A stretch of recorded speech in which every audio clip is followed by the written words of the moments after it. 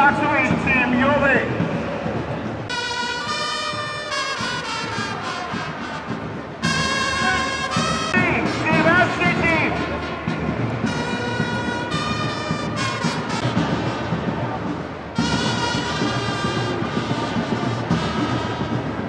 Well, this is the very first national para sports. And like I said, it's trying to bring the, the mandate of the Ministry of Youth and Sports in alignment with uh, the vision of Mr. President. Under Mr. President, President Muhammadu Buhari, we've had the Disability Act signed into law. We've had the establishment of uh, the Disability Commission. At the National Assembly, we have committees chaired by our lawmakers. So this in, is in alignment with that. We believe, like I said, there's ability in their disability. The most recent Olympics, we saw what they did. They gave us our greatest number of gold medals. Previous Olympic, they did the same thing. At the Commonwealth, the same thing. If there's no competition, no athlete can improve and excel. And we felt that they deserve their own special uh, national sports competition. Don't also forget, in December last year, this ministry created for the very first time a department for para athletics. I do not know how to express my uh, sincere appreciation for the turnout first and foremost, and seeing close to around four to five honorable ministers and um, about three chief of um, staff being um, present at this occasion. Uh, it gives a very great woman, meaning that the Nigerian government are actually interested in this. Um, their being around um, has really uh, set the ball rolling. In fact, I was so impressed that the Federal Minister of uh, Youth and Sport organized the first para festival. So my expectation from my state is that we are all prepared and we came here to win a lot of medals. We want to back home with medals.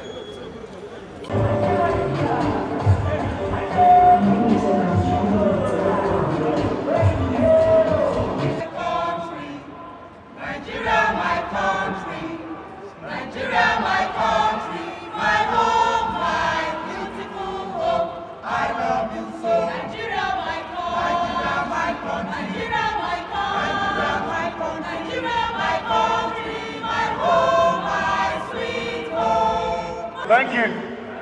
All right.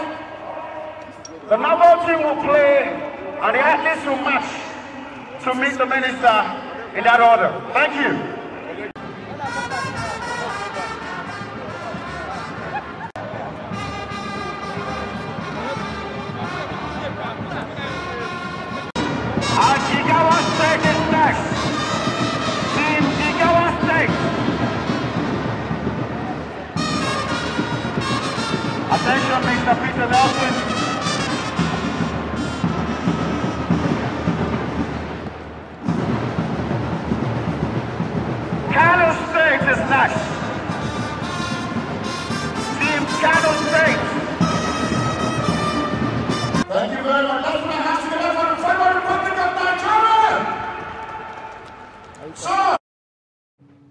Russian National Para Sports Festival. the first time the Nigerians will be able to see para sports men and women gathering at the MKO Abiola Stadium for their own festival. Good work there.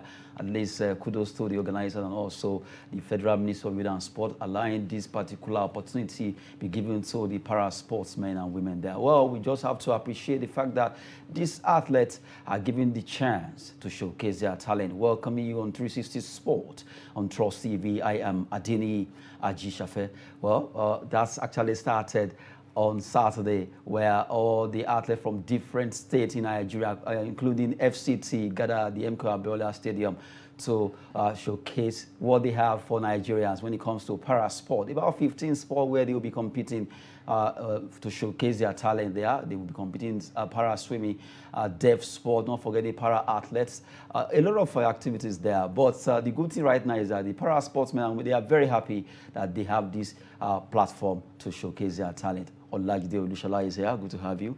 Yeah, good morning. Good to be here again. Good one. Now let's uh, look at this particular opportunity given to para sports. Uh, you look at for a while now, we've been having a sports, National Sports Festival, but this time around it's National uh, Para Sports Festival. For the first time in Nigeria, uh, a lot of, uh, at least 37 states, uh, rather 36 states plus FCT will be coming up. And now uh, the good thing is that these para sports, uh, festival has been able to at least uh, a lot of people have been able to see that oh so we can actually do this. So all this why we have not been celebrating these uh, great men and women who actually have been showing their strength that there is ability in disability. No it's a good one. Kudos to the ministry for uh, bringing this particular festival up. Uh, let's take a, let's take a look back to olympics uh, Paralympics, we saw our Nigerian, the, our Nigerian athletes always perform when at the Paralympics, the weightlifting, they win more medals than the able-bodied. And uh, we've had over 22 editions of uh, National Sports Festival, and this is the first edition for the parasport. Is to, is to give these athletes that uh, sense of belonging that it might be disabled, but then you still have you still have that ability to, of course, to do to give to us what able men and women cannot do. Mm. And uh, it's almost like a like a rehearsal for them to pick the best players that represent athletes rather that represent Nigeria at the Olympics or the Commonwealth Games as well too because we have so much talent when it comes to para para, para games. And uh, I want to give kudos to the ministry for you know for bringing up this. And thankfully of course to the head of service for approving this. Mm. but they approved it. And of course, the ministry brought it up and approved it, and of course, it has come to life. So kudos to the government for that. Now, uh, while the opening ceremony was ongoing, I remember 17 states was on ground, but mm -hmm. as at Sunday, a lot of states have joined them. Mm -hmm. At least uh, we're looking at 36 uh, states now coming. Uh, but I love the fact that uh, uh, all hands actually have been on deck for these games to come up, where this seems to be our strength when it comes to medal right now, because in para sports, we, we win a lot of, especially para, para powerlifting. Oh, those guys are just too good. Hmm. They, when it comes to this para, that's when they win. The last, uh, the last uh, Olympics, I think they got about six gold medals. Eight, eight, okay, eight gold medals, medals and uh, almost six silver and thereabout. The bulk came from the weight. Uh, para powerlifting. Yeah. So we, so you know, the, their legs, of course, is weak, but up here is strong. So, but this is what the able men and men could not do, even when it comes to weightlifting. So it's just to give. I, I'm just happy that at least they'll feel among, the few feel blessed, feel that, appreciated. that's what I, that's yes. At least even though this is what happening, but the the government has recognized us, and uh, we look forward to get to get the best play, the best athletes that will fly the that will fly Nigerian's flag at the international level. We can get them from this particular set of players who have athletes, sorry, who have come from all the states of the Federation plus FCT. So we can pick the best from the best. It's like it's, it's more like like like like trials. To me, I see it as trials to get the best players why am I mentioning players? I know they, they have para soccer yeah. there. Para soccer is still part but, of it. But athletes is still mm, the, the dominance uh, force. Yes, that that that will peak and take them to Commonwealth and of course the Para uh, Olympics in the next the next Paralympics. I, I love the fact that the Minister of Youth and Sports, Sunday Dare, uh, at least uh, opined that yes, it's possible that Nigeria can actually get a lot of mm. para sportsmen and yes. women here that represent us at the Birmingham uh, Commonwealth Games that will be coming up June, July or thereabout. And uh, we are also looking at uh, Para Olympics, that's Paralympics now, yeah. where we can get the best of the best. Mm -hmm. Like you said, it's like a trials for Nigeria from the way it is now. Look at this men and women, they are happy, they are here. Para soccer, uh, para swimming, you have uh, para table tennis, although not forgetting the deaf uh, sport. They will play football and all that. But I love the fact that, yes, uh, they have a template now where they to, because by next year, they'll have more. A lot of, uh, not being the Fox time, a lot of people are like, is it going to hold or not? Yeah, yeah. those other numbers, yes, hitches or yeah, thereabout. They're not, like I said, 17 states came out, came around the first day. on the first day and I'm not sure they're up to 36 now in the in, in, in, camp. Probably maybe about 28 should be available now. So some states might not even come because maybe financial constraint mm. and uh, skepticism that will this actually be possible or something. But we, we, we, I will not expect to see the full 36 states and FCT in this first edition maybe going forward, the next editions. All of them begins to come because when they see the joy and yes, all the, the happenings there. Yes. And if they see that the athletes are leaving that particular state to go to other states you know, to compete, so they might see the reason why they should send their own mm. athletes to. So, but let's, so let's just give this, it's just it's a beautiful one. I felt very happy when I saw this athlete. I saw the joy that at least for, for once in, the, in this history of Nigeria that there's a game being organized for the for para them, athletes. For them alone. Not that they are joining them with uh, a good, Body just men. for them alone, nationwide, mm. is, a, is, is, is a good one. The joy was, you could see the joy in their faces. At least, apart from the fact that they are, they are uh, represent their state, at least some change went out of their pocket as well, because most of them, this is what they do for, for a living. For a living. And if there's nothing for them to do, they cannot take care of themselves mm. and take care of their family as well. Mm. We've been looking at the, para, uh, the first uh, National Para Sports uh, uh, Festival taking place uh, in Abuja, the MKO Abiola Stadium. Good one there. Kudos to the state uh, that at least released funds for these athletes to be here, and also the Federal Ministry of Youth and Sport, the LOC, Local Organizing Committee, would deem it fit to at least work together to see how this thing will actually work out. And we also need to appreciate the head of service and get this approved.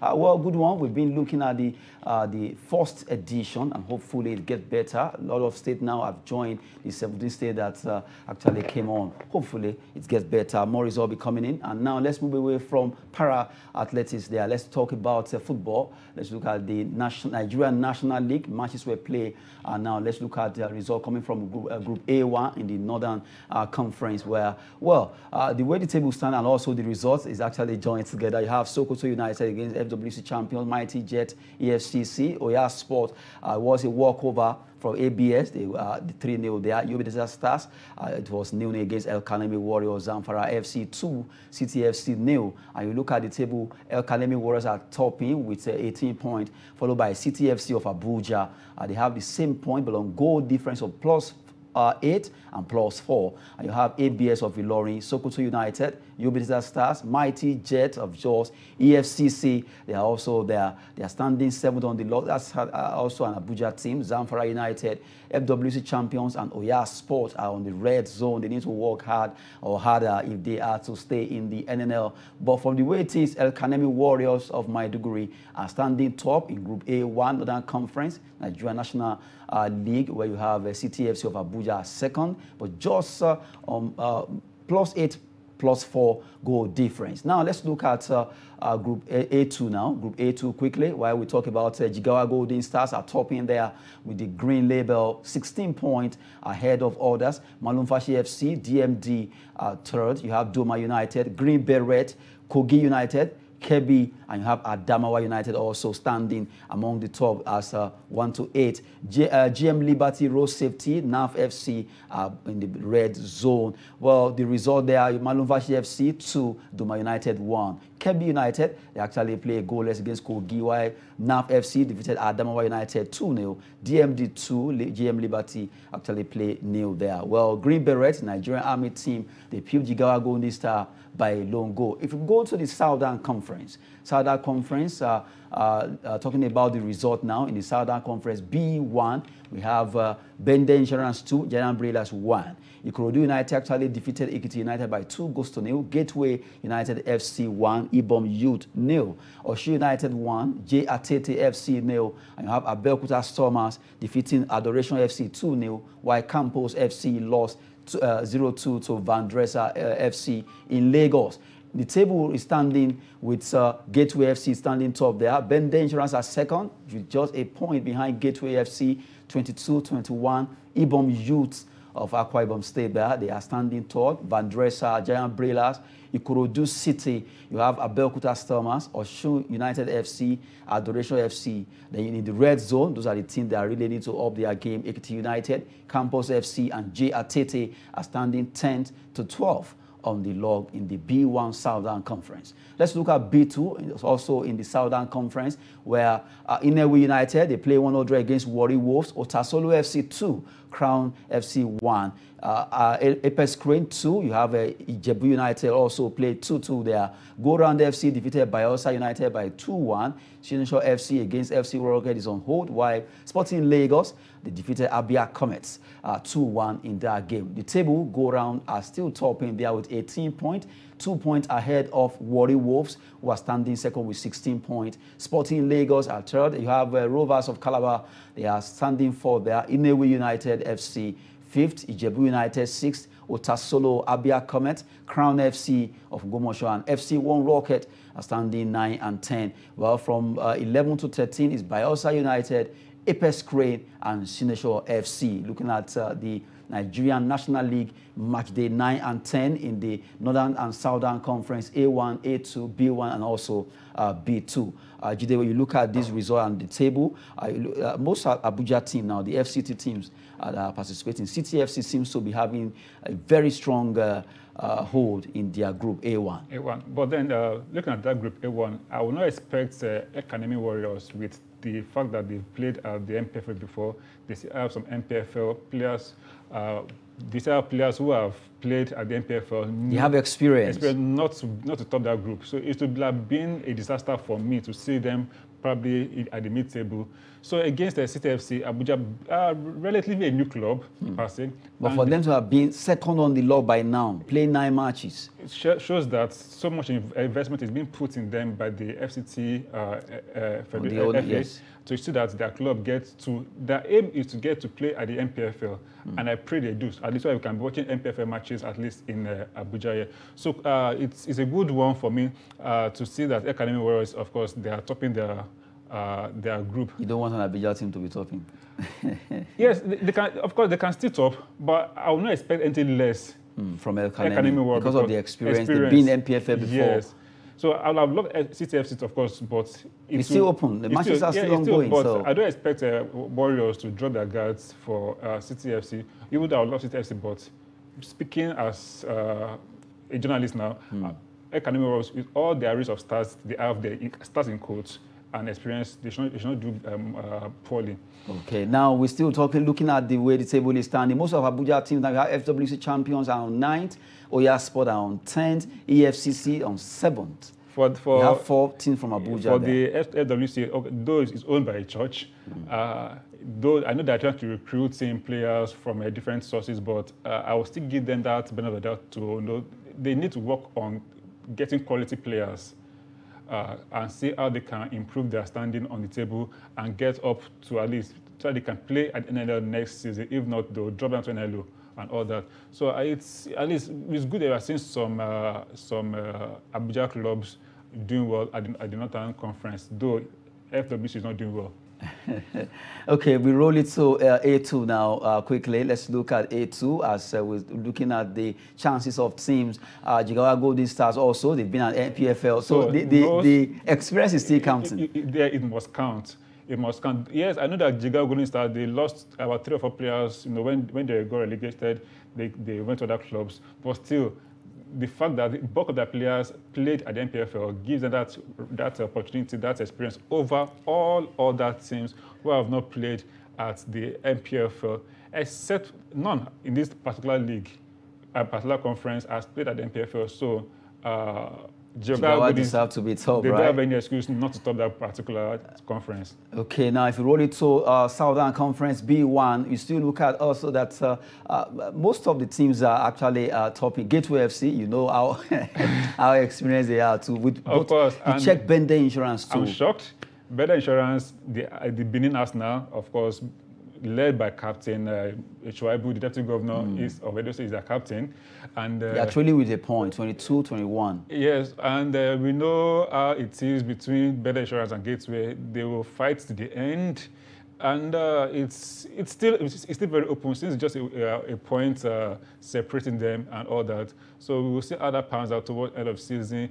Ekiti United, Campus FC, JRT FC, uh, Ekiti United can still escape. Uh, can still escape if they do their if they play their games very well.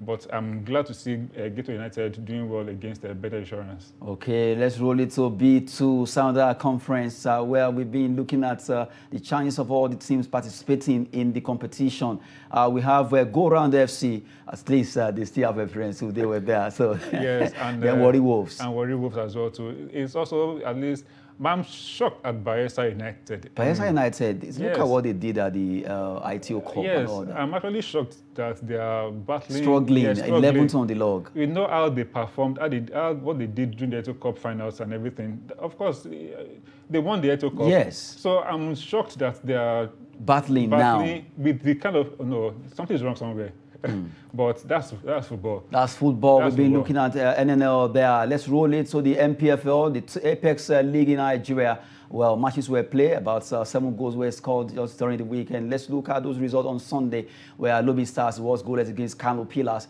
Uh, Enyimba 2, Enugu Rangers 1.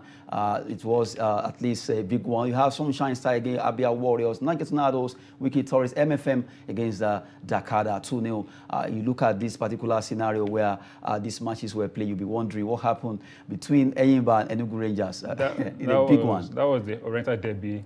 It's one of the biggest, the biggest games we have uh, when it comes to NPFL. Hmm. And I'm glad for Enyimba to have able to come back to the winning ways against Enugu Rangers. So it was, a, it was a beautiful game that they came back and of course they got the, all, the maximum points. But I'm happy for MFM, at At least least- being able to defeat Dakkada. And again, for MFM, who are, who are battling relegation as well, too, at least probably this will give them some little, maybe they prayed and they fasted and all that, and uh, so their prayers are being answered right now for them to get the maximum points, and probably they might escape relegation. Good one. Let's quickly look at the table before we wrap it up. Uh, the way the table is standing now, yes, uh, Rivers Angels are still uh, topping there with 46 points, followed by Plateau United and Rangers.